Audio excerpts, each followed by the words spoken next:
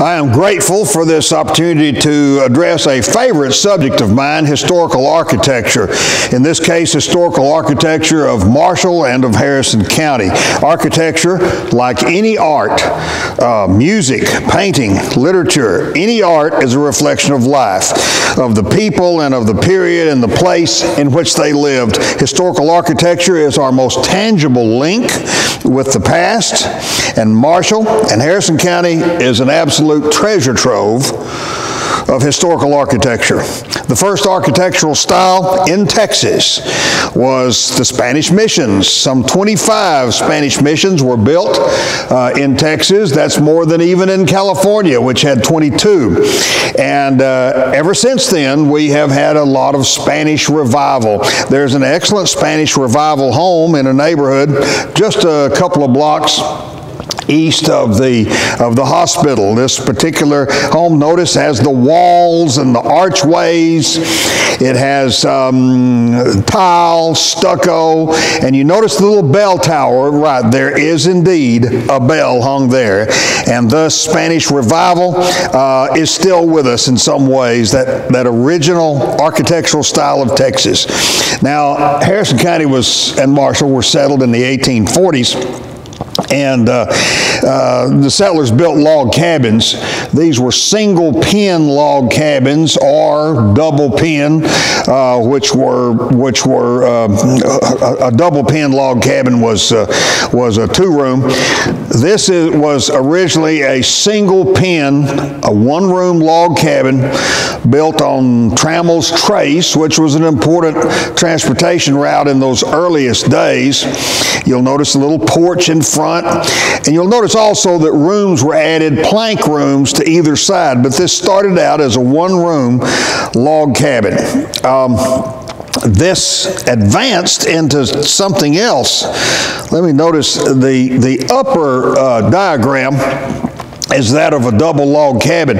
Very frequently, as the kids would come along, well, they would build uh, a second pen, and you'd have a double log cabin, and you, you wouldn't build it, the rooms adjacent to each other. There was a little bit of a space in there, and that was called a dog run or dog trot because dogs would chase each other through that breezeway, if you will and the double the double log cabin had its uses. The the room the, the roof covered the entire complex.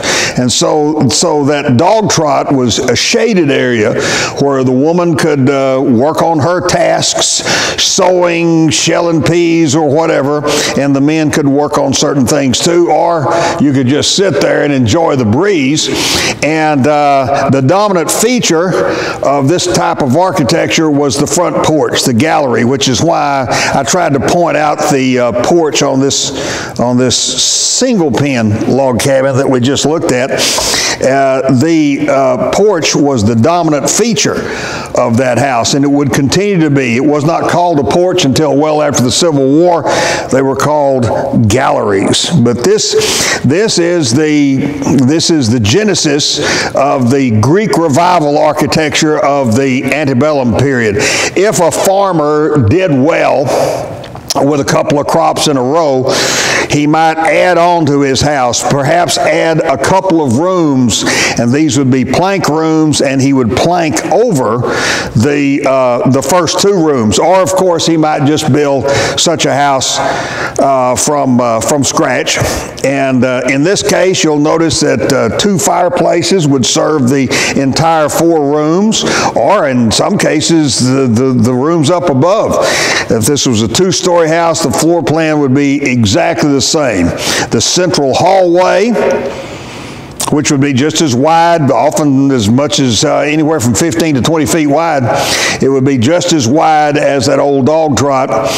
It would be enclosed, but the doors were double doors and they could be opened, both of them opened at the same time, and you would get that breezeway effect. Very important in those days because you'll notice that there are interior doors opening onto the hall. There are also interior doors even on other sides of the fireplace. You have uh, two, uh, two windows per wall. And those two windows um, were tall windows as much as possible. Uh, they might they were they were actually figured by the figured and described by the number of window panes.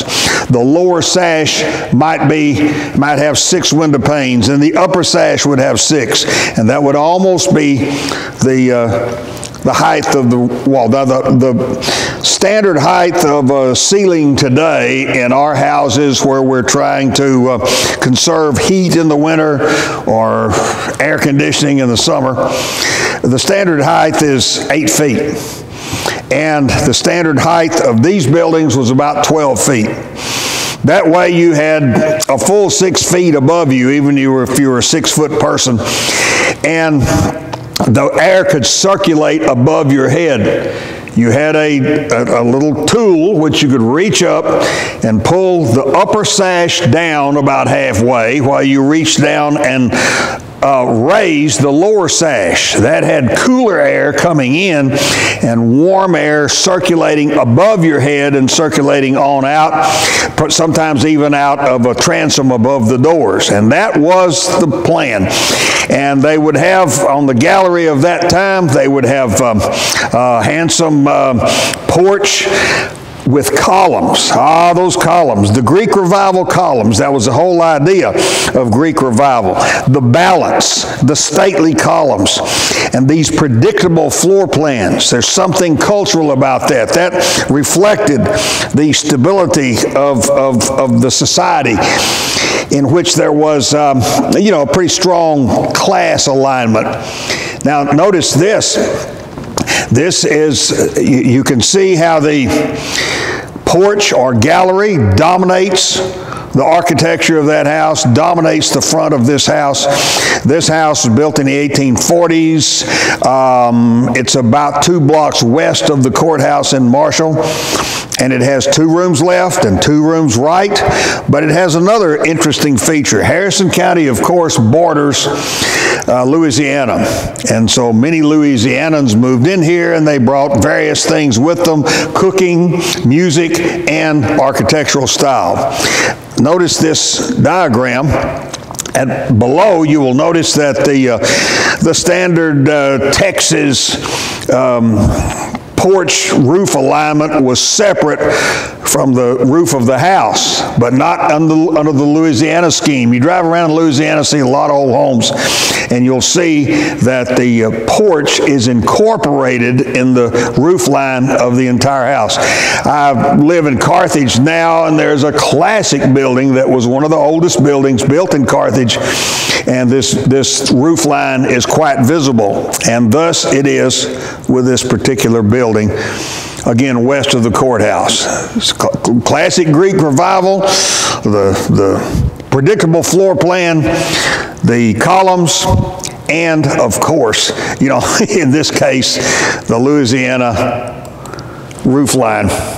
The um, Marshall was also fortunate, in fact, is in, in, that it was the only, um, it was the only um, town in Texas that had an out of state rail connection.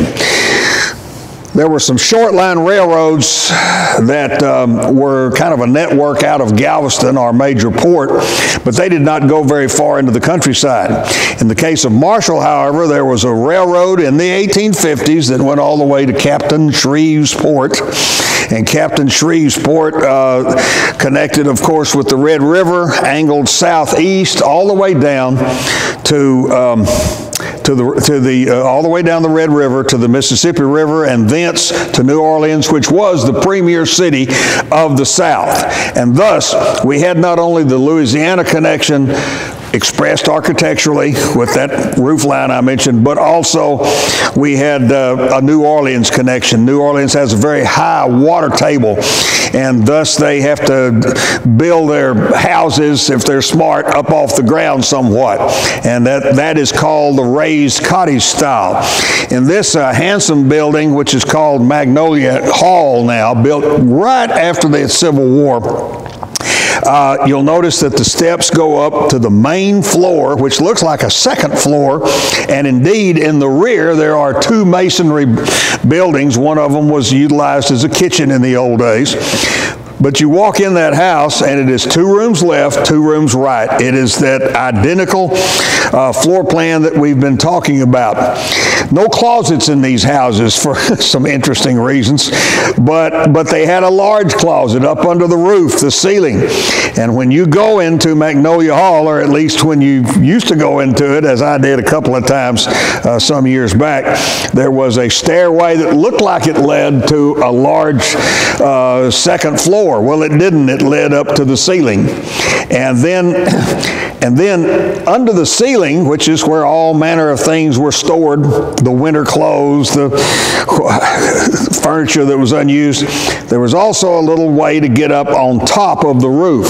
That roof between the chimneys is flat. And um, it surely had a, a, a uh, balustrade around it and there was therefore what was called a widow's walk. The widow's walk, uh, that term was uh, was utilized uh, oh, by the by the sea captains in New England.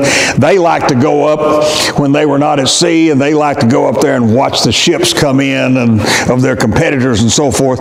But uh, if the guy went on a whaling journey or something and didn't come back, and word came that that ship had been lost, his widow would go up to the top of their house and look out with a telescope, hoping against hope to see her husband's ship come sailing in, and thus the term widow's walk. In the case of plantation houses in cotton farming country, this would be called, um, uh, this would be utilized by the plantation owner to come out and check the fields out this way and that way from that elevated uh, area. And thus Magnolia Hall, uh, wonderful example of, um, of not only antebellum architecture, not only of the Greek Revival House, but of the raised cottage style from that New Orleans connection that we have. Notice this much larger version of that. You still got the uh, central hallway, two rooms left, two rooms right. You've got a full story downstairs, but those are secondary rooms, principally bedrooms originally. Up, upstairs are the major rooms, the dining room, the parlors, and so forth. And um, this, uh, this is a larger version of the raised cottage style and a very handsome example of this. Here's the Taylor home built in the 1840s, the first brick home I've always been led to understand built in uh, Harrison County.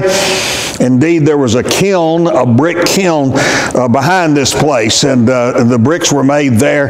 And this house was built in the 1840s, of pure Greek revival, except in one way. It's only one room deep. You have a central hallway, one room left, one room right.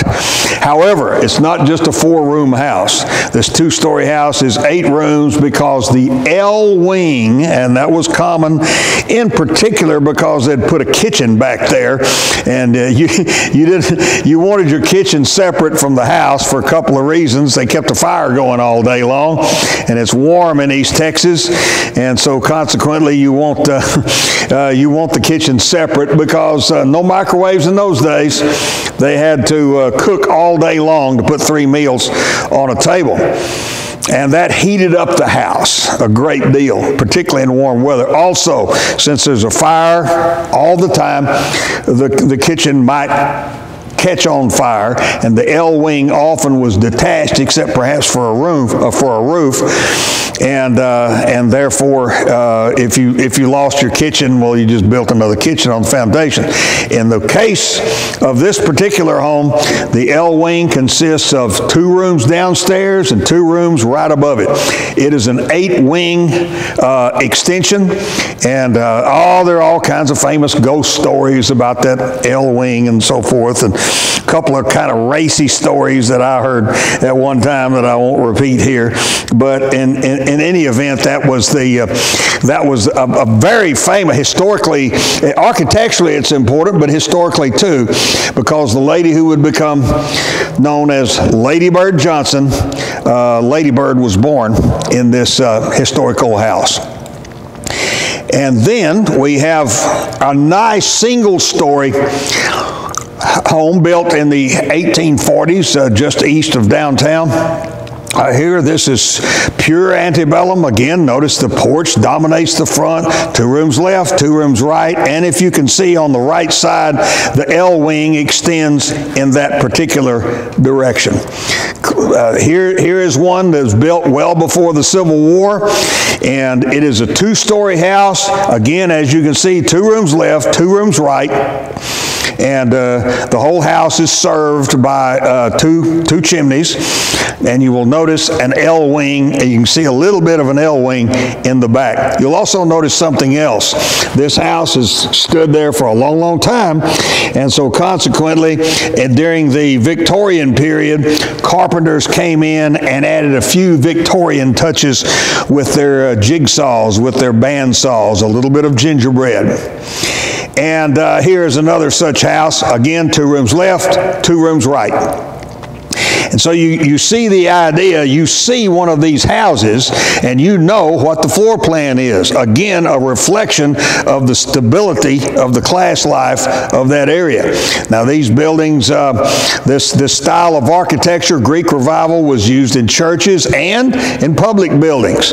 Now, here is the first substantial courthouse built uh, in, uh, in Marshall. There, when uh, uh, pioneer counties in Texas generally had a log for a, uh, their first courthouse.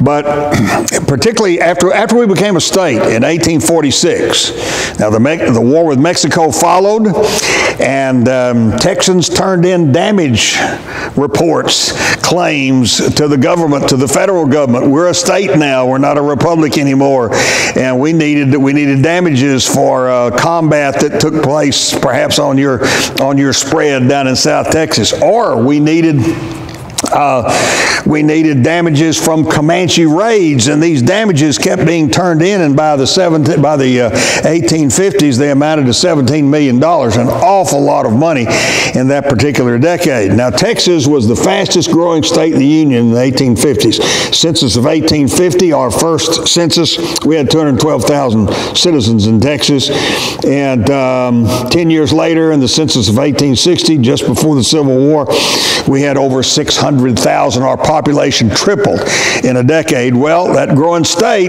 boy oh boy, you couldn't get by with log cabin courthouses. And so consequently, we started to have these brick courthouses built.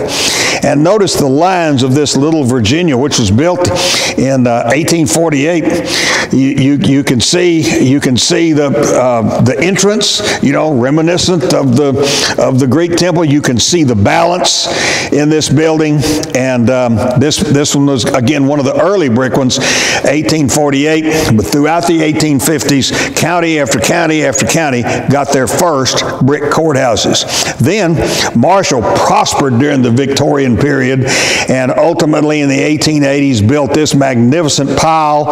It, it was um, it was a, very much a Victorian house. It's nicknamed Little Virginia too, but you can see the Victorian lines in this ornate old building. These kinds of courthouses. Texas has 254 counties, and uh, most of them have these wonderful ornate counties or had them. This one burned, but fortunately, Marshall uh, rebuilt right away it, be, it burned in 1899, I believe, and by 1901, the building I'm standing in right now was completed. And uh, it, uh, it too had the Victorian touches. The Victorian era was not yet over. And so here is this splendid example of what is called courthouse Gothic. Marshall had two courthouse Gothic uh, buildings. One of them built in 89, and then the other one built a little over a decade later. And uh, very, very uh, fortunate in that way that one of them at least still stands. There's something else that stands. It stands atop this building, atop the dome and it is the goddess of justice. The goddess of justice was uh, almost requisite for these, these courthouses. The goddess of justice would be standing there blindfolded, and she would have the scales of justice in one hand and the sword of justice in another hand. And uh, you had the goddess of justice above almost every courthouse in the state of Texas. Now, those church buildings on the right is the First Methodist Church. This building, certainly a wonderful example of Greek revival. Now, it's been, it's been added to and changed a lot, but this building uh, is, is certainly embodiment of Greek revival architecture. Just you can just see the temple look in the original version of it. I had some students who knew. Well, I used to give something along the lines of these programs to, the, to, to, to my classes. And uh, so students who were acquainted with, uh, well acquainted with the uh, youth minister, I guess he was, at the First Methodist Church, he was interested in this kind of thing too. And so I was invited to go up there after class one day, and I shucked my coat and tie and went up there and crawled around with him upstairs in the much larger building today, and he was able to show me where, where and when this was added and this segment was added and so forth. Now, bear in mind, that was built in, I believe, 61, right before the Civil War. Just a little over a decade later, the Presbyterians began to build something, but the, by the 1870s, the Victorian style of architecture was becoming popular. And you can see on the left the Victorian touches in this Presbyterian church, which still stands today. And that is the whole idea of what I'm doing here. Historical architecture is our most important link with the past. Well, we have a lot of these fine buildings have been torn down, but not these. You can see how many examples uh, that, that still stand here. And that is, um, that is an example of uh, Victorian church architecture in the early Victorian period. Now, um, transportation, there was. Um, there was a state, there is, in fact, the building still stands, a stagecoach inn building uh, just a few miles to the north of Marshall. And uh, it has been added to, particularly in the rear. You can see that it was built, built by someone who had that uh, Louisiana connection. Notice the roof line incorporates the, uh, the porch. And this was then a stagecoach inn. Stagecoaches would stop, their passengers would get a meal, and then on to Marshall, or perhaps they were headed north somewhere, or perhaps they would need to stay overnight. And so those were the, the inn, the stagecoach inn provided meals and overnight accommodations. And then later on, here in Marshall, for goodness sake, the Capitol Hotel, which when I moved here, I moved to Harrison County in 1969 as the head coach uh, of the Waskom Wildcats. And that K. Woolens building was a department store, but of course previously had, it had been the famous Capitol Hotel, which was built in 1857. And then behind it stood another historic piece of hostelry, and that was the Hotel Marshall, the multi-storied, a classic example of downtown hotel. And fortunately, it's still there. The, the old Capitol Hotel has been torn down, but the Hotel Marshall is still standing and in use as a property of East Texas Baptist. And then, of course, there is the, uh, the, the, the, the, depot. My goodness, that's the old Texas and Pacific Depot. By, uh, by the Victorian period, Marshall had been appointed a division headquarters, had a huge rail yard. And, um, and uh, this was at a time when railroads were the most important industry in the entire United States. This is before the 20th century auto industry. And there was there were all kinds of jobs associated with the railroads and all kinds of traffic passing through town. There was a lunch stand on this side of the tracks, a little plank load, uh, uh, a little old uh, frame lunch stand called Ginocchio's, and um, it became famous as a site of a shootout that included the wounding of a, it was the killing of one guy and the wounding of a famous actor named Barrymore, great great grandfather of uh, Drew Barrymore, I believe. And, um, and so the gentleman that owned this thing invested in a hotel. And that hotel, now the Ginocchio lunch stand was right out here where we are in this parking lot that you can see. But the hotel behind was a handsome building, very ornate. And uh, it stood across the tracks from the depot and was the obvious place for people to. Uh, uh, you know, to, to get out and eat, find place, and stay.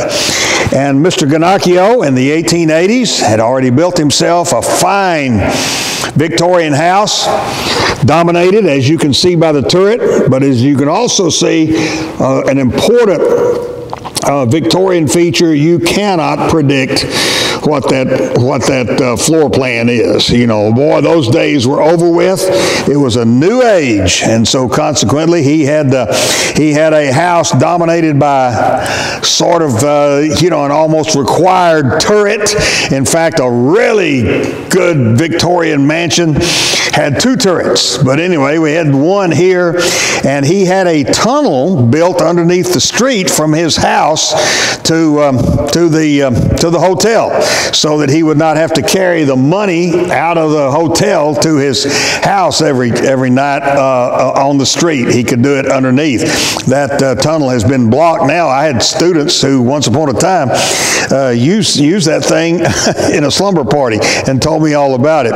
And then, the, thus, the railroad was the most important form of transportation, the most important um, uh, business you could have in your town. Now, um, one of the railroad officials hired a bunch of railroad carpenters to build himself a house in the 1880s. And you will notice it's kind of an interesting transitional building.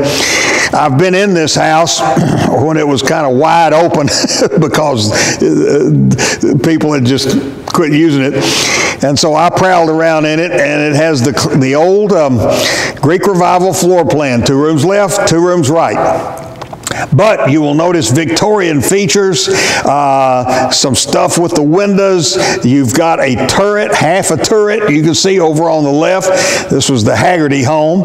And again, it was a transitional thing, and it was built by a railroad official, and he hired railroad carpenters to do it. Very interesting transition. Now, notice this really fine Victorian home here, and you can see how it is dominated uh, by the turret. These houses, these fine Victorian houses all across the eastern third of Texas were, quote, quote, built by cotton. Uh, people who uh, had made a fortune in, in cotton lands, maybe putting them out on their cotton plantations, if you will.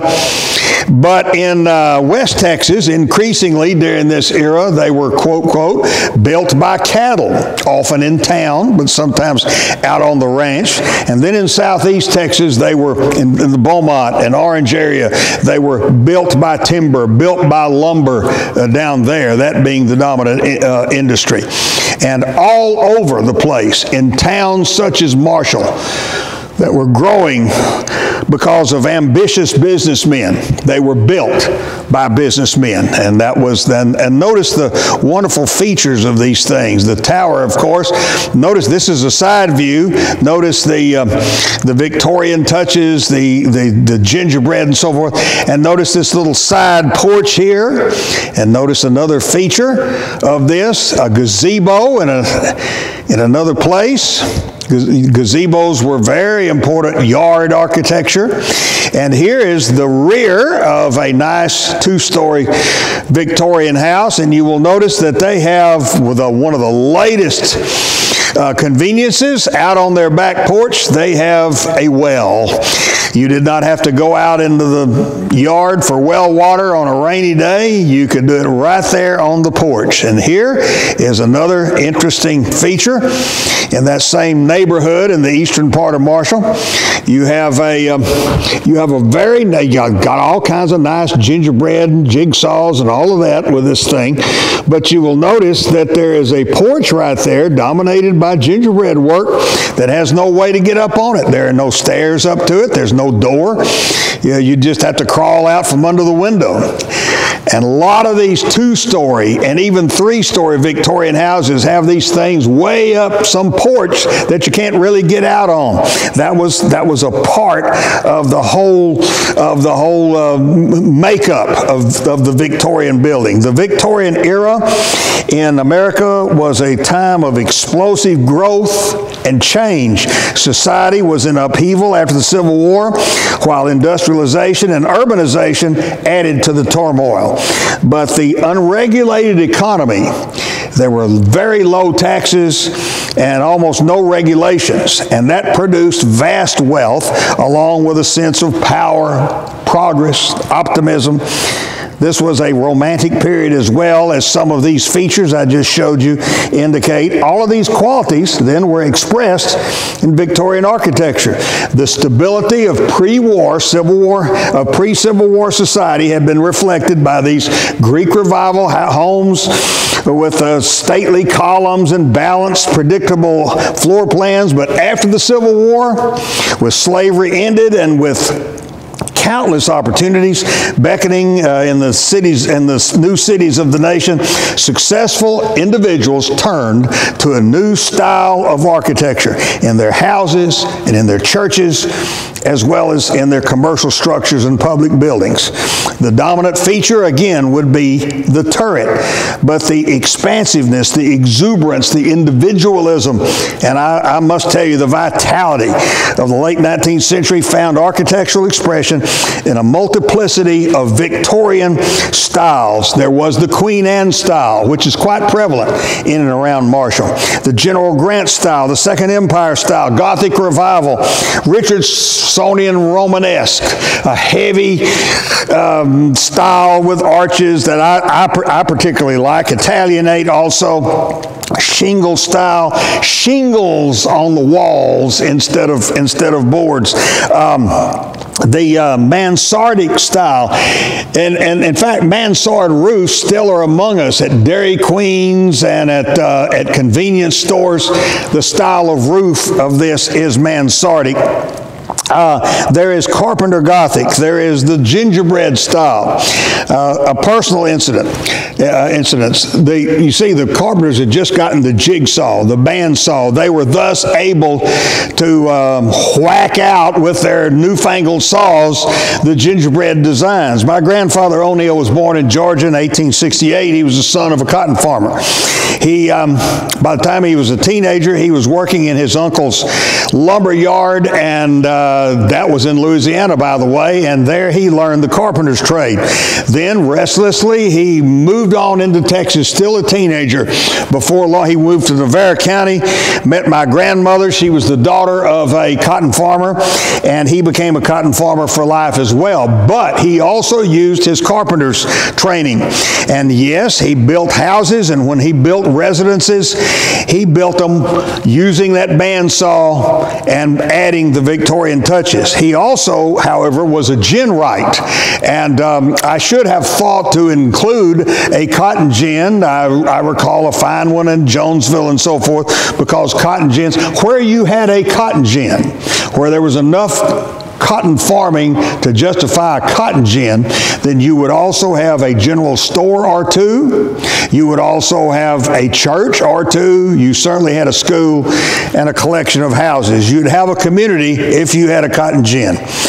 And I showed, I, I just showed or just suggested 10 different styles well, they like to mix these styles. And when you took a feature of this style and added a feature of that style and bastardized another style, they began to call that kind of place Bastardian. Victorian residences express the owner's individuality and their prosperity. Again, shunning Greek revival conformity, Victorian houses bristled with turrets and bay windows and gingerbread decorations. Some of these features I've just shown. Again, the ornateness of the romance of the period. As many different materials as possible were used, different kinds of woods, different kinds of stone and timber, inside and outside, tiles, shingles, and um, Let's see what else we have uh, here. Uh, again, you just see these wonderful things. Again, these are all houses that still stand, you know, a tangible link with the past. Look at that gingerbread work above the entranceway. And notice, though, how the, this one's not dominated by a tower, but transitionally still by the porch. Um, here is one of the finest uh, uh remnants of. Um, of Victorian architecture and residential architecture in town, and it is utilized, as I understand it, as a B&B today. I know it has been done uh, for a number of years. Uh, here is an interesting feature. There will be a full program on the Starr home. But what is interesting to me about this, this is a view of the rear and of the cistern, the rain cistern that, um, that was built in the back, a very large cistern. My uh, grandparents long lived in a little old cotton town that did not have, little old farming town that did not have, they had three cotton gins, but they did not have running water. And so every house, including the modest four room house that my grandparents lived in, had a round tin cistern. That's the only way you could get running water in your house, and that's the way the Starr home uh, got theirs. Very impressive, I think. And um, let's see other features. Here is a commercial, a late Victorian commercial building, but it's been restored, the Elks Lodge, and it is just a couple of blocks uh, north of the courthouse where I am right now. And other features, one unique here. This is the Hochwald home. Um, Ike Hochwald was a prosperous businessman and he was an enthusiastic sportsman and he headed up the professional baseball team in Marshall in the heyday of minor league baseball, and he even was president of the East Texas League. But he also had an automobile, and you see his driveway on the right. Here's a better shot of it, and he would drive his car down toward the uh, toward the garage, and he would stop it and he would be on an automobile turntable. And that is a rare and unique uh, form of architecture.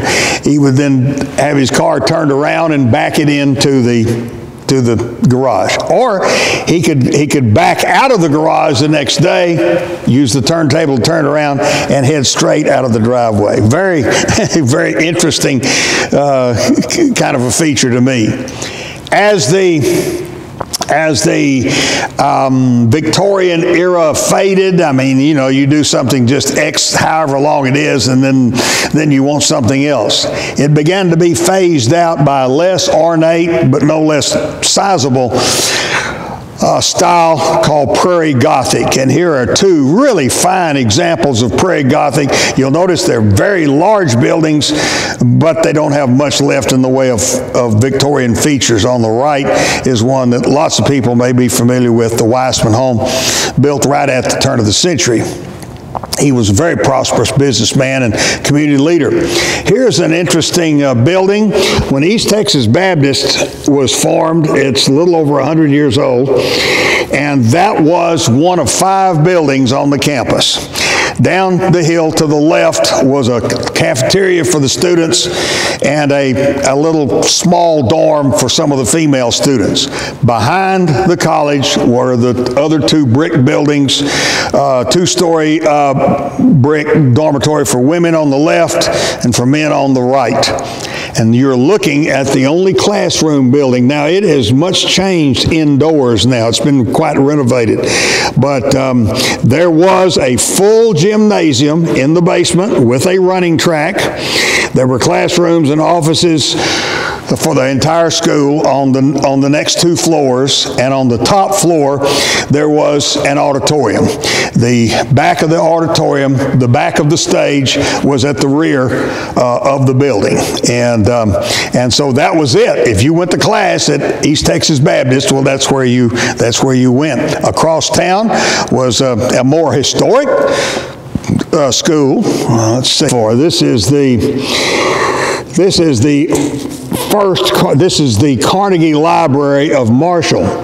Across town was Wiley College, and the president of Wiley um, took advantage of Mr. Carnegie's offer to put up matching funds for a library, and he um, was able to get this Carnegie Library built on the campus of his school. Many years later, it was turned into it was turned into um, uh, an administration building, but uh, historically, it was Marshall's only Carnegie Library, one of about 40 built in Texas.